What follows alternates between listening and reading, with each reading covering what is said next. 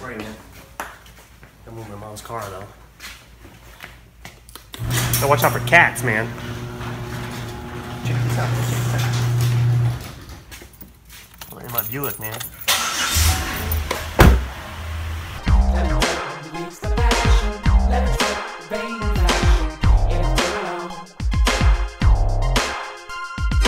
Wacom, Texas. Everything. Watch out for cats. Would you go back there? She's got cats.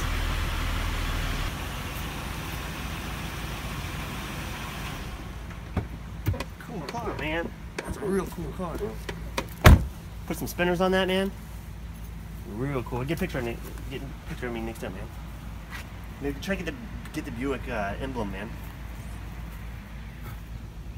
Some gangster ride right here. Get it lowered, maybe chop the top off. Cool, man. Bring on the girls, man. I'm ready. Got a couple beers here. You can try my beers, man.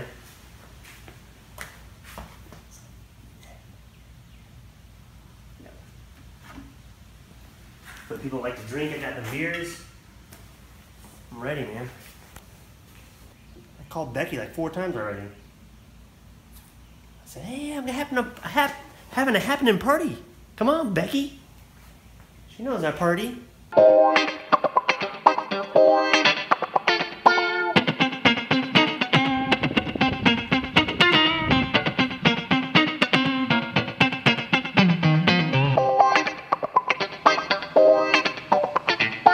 gonna show you some gun control. Gun safety. Whoa, whoa.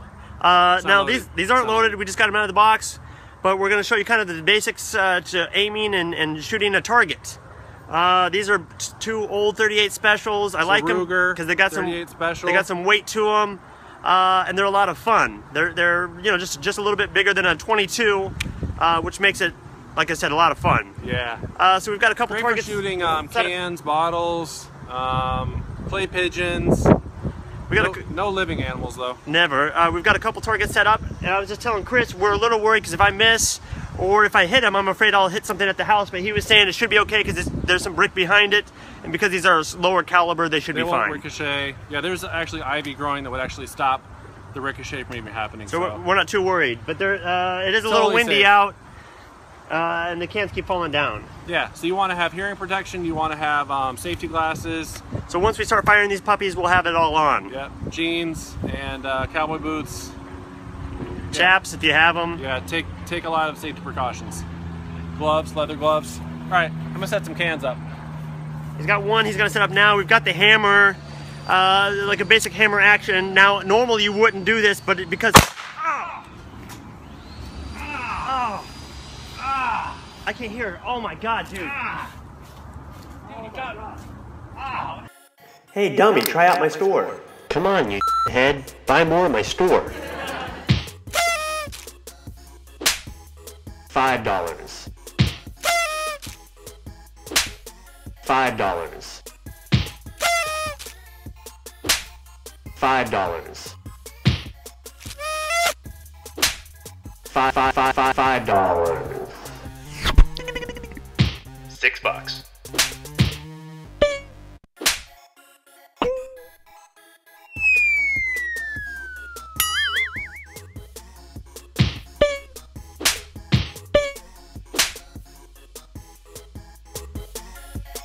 Wow, that store is really full. There's some good deals too. Wow. And there's lots and lots more. Wow. Wow. Wow.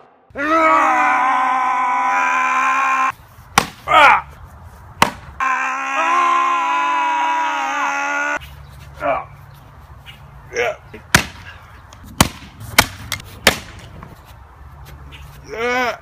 Here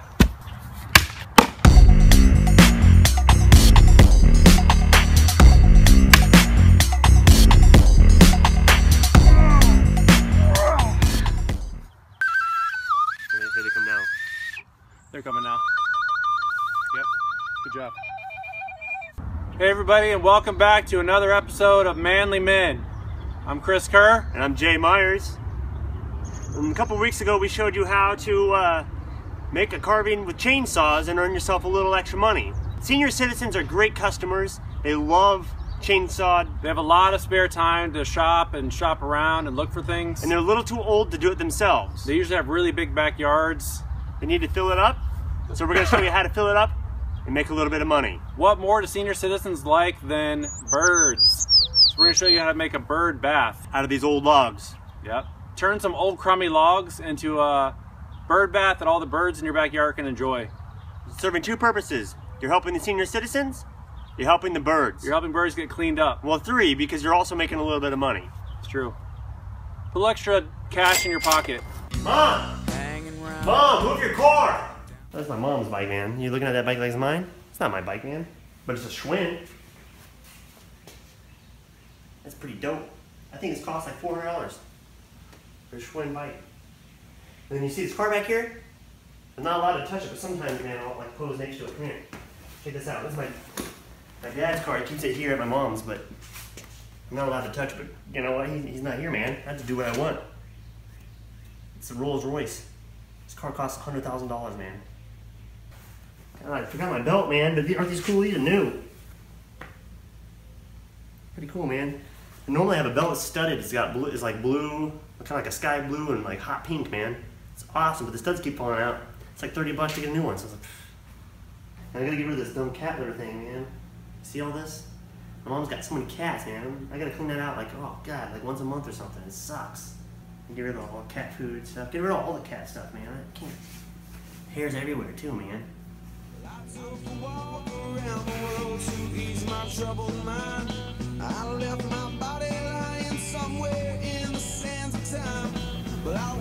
I oh, maybe I should make another phone call. I feel there's nothing I can do.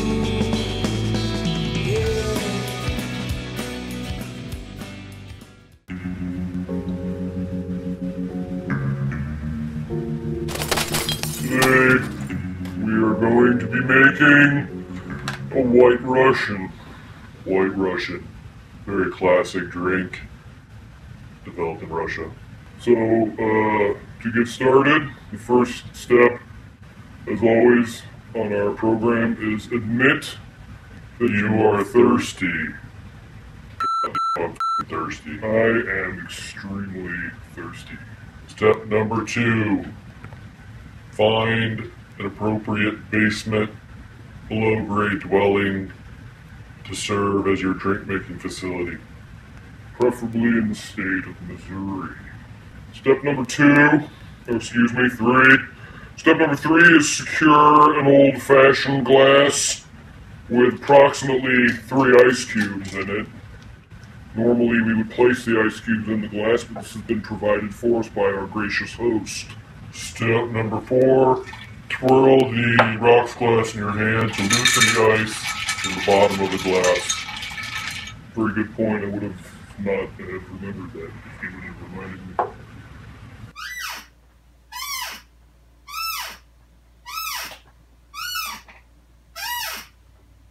You guys ready? You ready? Yeah. Okay. So let me tell you a little bit about my new product today. It's a time saver and it's for any businessman that is trying to get something done uh, during the day, which is practically everybody. What we've got today is a new product, it's revolutionary, and it'll change businesses across the globe. And the thing that it does best is it saves you time. That's one thing that you do not have enough in the office. You don't have enough time. You've got people working overtime. You've got to pay for that overtime. So what we're going to do is save you guys some money by introducing to you today a voice-activated printer. Now, uh, it's it's this is a prototype, but basically you'll get the idea. And what happens is it'll print via print. Voice command activated. Sometimes you have to en- enunciate a little bit because uh, we haven't worked out all the kinks. Print page one. Which page would you No, like to print, print? page one. So it's a voice activated printer. Print page Printing one. page 11. One. 11. One. Print page Printing one. page 27. Okay. So Printing page okay, 1. printing page one now. And another thing that you could do that's it's uh, it- it'll print no matter what. So it'll print your pages, and the thing that you basically are doing as the orator or the uh, commander, I guess you could say, is you're telling it what pages to print. Printing No. page No. 1. Print page two. Printing You got to keep it going, otherwise uh, it might get confused. So as you're typing, you're going to want to tell what pages to print. Now I've got a 120 page document. Printing page and sometimes that takes time. But the thing is, I could be 120. typing at the same time. I could, I could just type anything I want to. One. No, not one. One. No, can- One. Cancel. Cancel. Cancel. Print. Print page three. Printing And you got to page really kind of enunciate. it, though. 13. Print page three. 33. Print page three. Printing Okay. page 3. Yes. Okay, that'll work. Mm-hmm. Step number five is secure a bottle of Kahlua liqueur. This is a rum and coffee liqueur. It was first developed in 1738 by Captain James A. Uh, Cook, James Cook. You're going to fill about a third of your glass full of Kahlua. It was actually developed in Costa Rica in the sea off the coast of Costa Rica by Captain James A. Cook in 1787. Step number six you want to add half and half or whole skim almond or soy milk to the glass. It's worth noting that if we were in Germany and we were adding fresh milk, we would be referring to it as Frisch Milch. That's correct. There we go. Good. Choke it. I did. Prime it.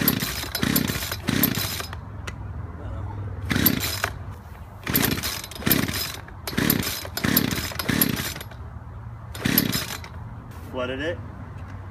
Did you flood? I smell gas. Did you flood it? Probably. Can we try it?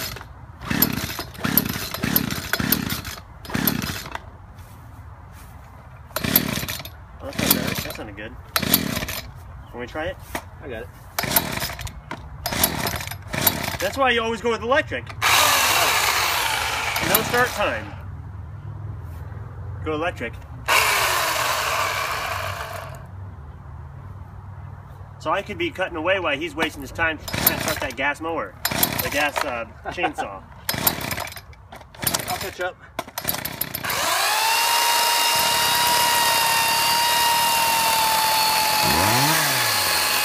Step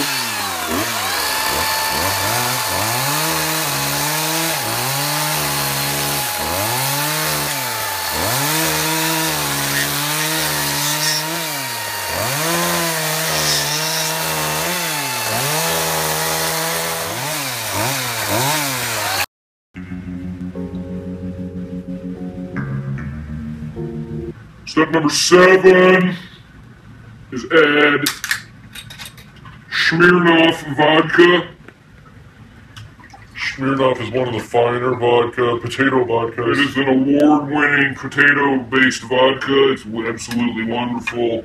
Triple car- charcoal filtered vodka, purified with artisan water and artisanal springs from the Caucasus Mountains. Step number eight.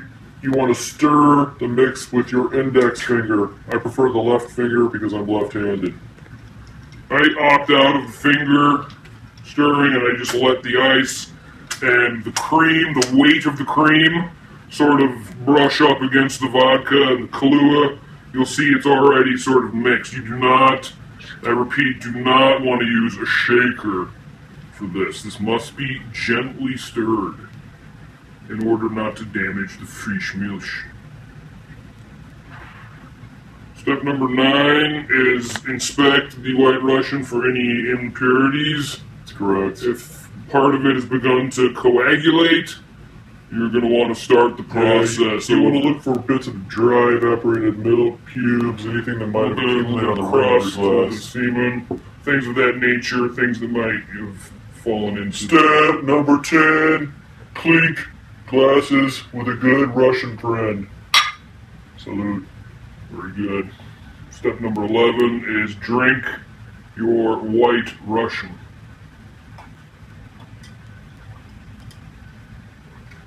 That's a good white Russian. Step number 12 is repeat step number 11. Also, it's worth mentioning in between step 11 and 12, you do not want to prematurely remove your milk mustache. This is a tradition that can be considered quite attractive in certain regions of the world. It's a very good point. It serves as a mating call. Mating call in places like Columbia, Missouri, Clinton, Missouri, Kansas City, Missouri, Sikeston, Missouri, St. Louis, Tightwad, Missouri, Tightwad, Missouri. Jefferson City, Missouri, Tightwad, Missouri. Print page three. 33. Print page three. Uh, and, and we do also have a function on there that does multiple languages. So it can do uh, any language you would like it to do, basically. Um, the, I don't know any other languages, so I can't show you that, but maybe we can get somebody else in here to kind of show you what it can do. Um, it'll switch. I know we've got uh, uh, Spanish is one of them. Spanish language No. engaged. No, English. Inglés. Presencia en español activada. Inglés. Erasing document. No, not erase. Inglés. Spanish language Uh, engaged. What's stop? Uh, stop. it. Um, so yeah, I use the uh, Power Voice operated printer. Um, it's been you know a pretty big hit around the office. Um, it works pretty well. Like for instance, um, I can get it to print the previous document. So print previous document. No command found. I love my voice activated printer. Print page one. Printing page 1. Check check paper. Paper full.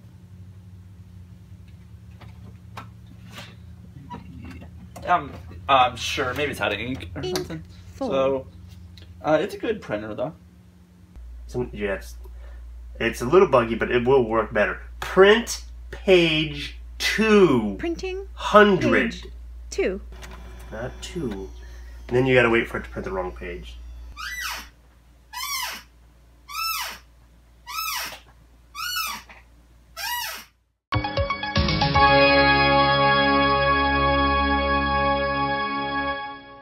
Was a 68030 based machine, which was in, built up from several different cards in our base 2000 machine. And what we've done with the 3000 is we've taken the, the general expansion cards that most people use and embedded them directly on the motherboard of the 3000. So, for example, uh, we have a hard disk controller built right onto the motherboard, 32 bits wide. We've got up to 16 megabytes of fast memory and 2 megabytes of chip memory directly on the motherboard.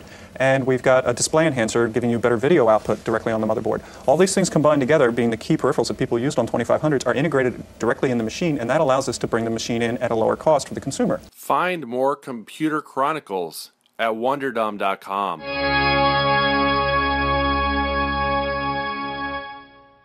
All right, you want to remember to leave a little bit of a ledge around the actually actual bird bath. That allows for the birds to hang out, maybe eat some seed, and uh, suntan a little. So we're gonna go ahead and fill it up now. Let's go ahead and fill it up. See, now that holds a lot of water. That's gonna be really handy for those birds. Great. They're let gonna the love it. uh, let the foam of the water kind of settle down, surface tension will even out, and the uh, the birds will have a place to go and drink and get cleaned up.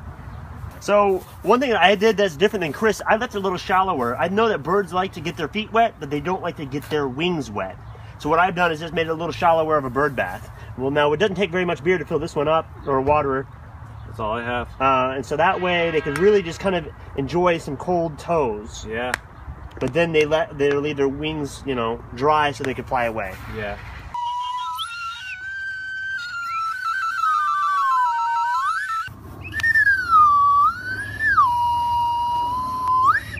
All right, as you can see here, we've had a pretty successful bird bath. Oops. Chris is just calling in a couple of them just Bird- now. Yeah, birds from several neighborhoods. Uh, the, the word's getting out, and uh, they're starting to uh, to come in and use Jay's bird bath. Now we might just got lucky that we're in the migration path. I don't know, but it seems that uh, they're loving the bird bath. Yeah, they are. So uh, let's take a look at how well Chris's did, but mine obviously has done just fine. Yeah, lots of birds. Now, All right, good morning. We, So- uh, we're back out here checking up on the uh, bird bath that I made. and we happen to find these uh, eagle feathers around it. We're not sure, but we think that this one can summon eagles. Could be, I'm not sure if it's a golden eagle or a bald eagle, but definitely an eagle was drinking out of the bird bath that I carved. which is pretty exciting. Pretty Um, damn cool. So Pretty, really, for 150, you can summon an eagle. pretty manly, I'd say. We've got um, three different types of birds here, uh, and we know that it also uh, drew an, an eagle. So this this one could probably draw within like four different types of birds. Yep. Probably were some falcons as well. Maybe some uh, some mourning doves, a hawk, chicken hawk. So So my pool is a little bit deeper than. Um, and it obviously draws a little bit more birds, but yeah. So it's like if you can't fly with the big birds, go to Jay's uh, bird bath. If you want to swim in the deep end, come to my bird bath. Yeah. One thing we also didn't know was that um, unlike concrete bird baths, wood bird baths are porous. So the water soaks in pretty quickly. So you got to keep um, popping open a can and putting more water in. but once you, I'm guessing once you get to a certain point, it can only absorb so much water. Where's the rest going to go?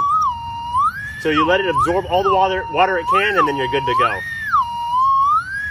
A waterlogged log is not going to take on any more water. It's true.